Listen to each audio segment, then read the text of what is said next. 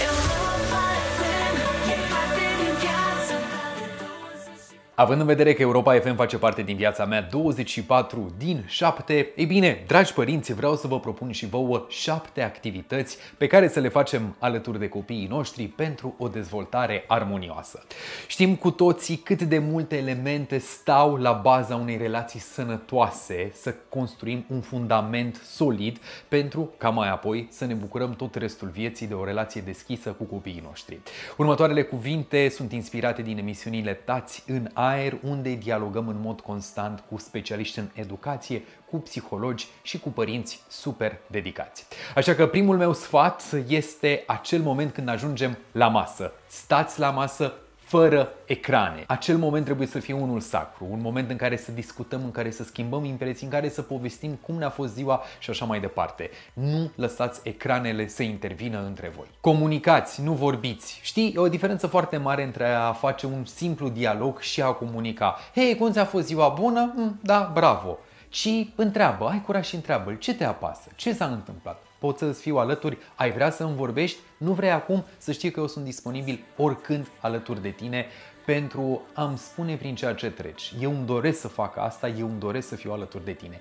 Dați-le cât mai mult sprijin pentru a se deschide în fața voastră. Citiți, faceți asta împreună cu copiii voștri și nu doar atunci când sunt mici și le citim povești de adormit, ci și când suntem mari. Pentru că propriul nostru exemplu va fi semnificativ. Dacă copiii noștri ne vor vedea că stăm și citim, cu siguranță pentru ei va apărea o normalitate.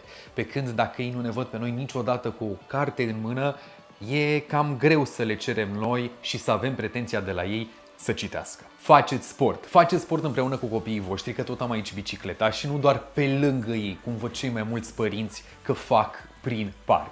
Ieșiți și voi cu bicicleta, ieșiți și voi la alergat, jucați-vă fotbal, basket, v-ați ascunselea, prinselea și așa mai departe, pentru că astfel de activități făcute împreună, de asemenea, vor normaliza un stil de viață activ și sănătos. Joacă-te cu copilul tău, joacă-te de adevăratele. Apropo, noi bărbații, conform psihologilor cel puțin, în momentul în care ne jucăm, o facem cu totul. Mintea noastră se va transpune 100% în acea activitate.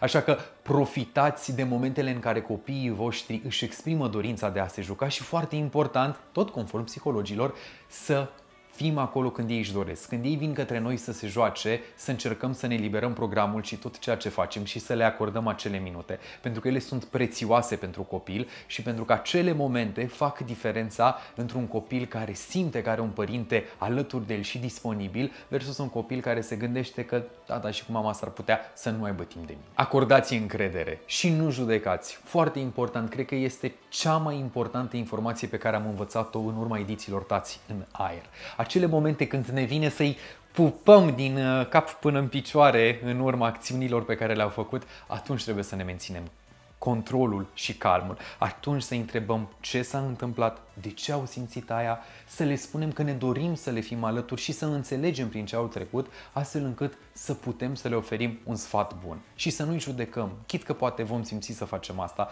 Momentul când copilul se simte judecat este și momentul în care se frânge o părticică din încrederea pe care noi o construim împreună cu ei. Dar ei când simt suport necondiționat din partea noastră și probabilitatea că ei să se deschidă ulterior va fi mult mai mare. Iar mai apoi, în maturitate, în momentul când vor veni toate acele tentații în jurul lui, s-ar putea să fie mult mai independent și să zică eu nu simt nevoia să demonstrez nimic sunt ok, am încredere în mine și știu că n-am de ce să mă duc într-o zonă în care să mă expun. Și da, prieteni, nu în ultimul rând, ascultați radio. Și o să-mi spuneți, hai mă, pe bune acum, da, serios, și vă spun și de ce să ascultăm radio. Pentru că radio înseamnă informație, radio înseamnă conținut, înseamnă un bun prilej să lansăm discuții. L-ați auzit pe Grecu că a zis ceva la radio și îl întrebați pe copil, pe copii, ce ziceți? Cum vi se pare această informație? Știați care este părerea voastră? Este o bună oportunitate de a lansa subiecte și a suda din ce în ce mai tare relația dintre noi și ei. Iar în afara informației avem parte de muzică. Și muzica, știți, din punctul meu de vedere cel puțin, muzica ne oferă un lucru magic și anume un moment în care să trăim în aceeași secundă, în același vers, trăind aceeași emoție și bucurie pe care cele mai bune cântece de ieri și de azi ni le oferă.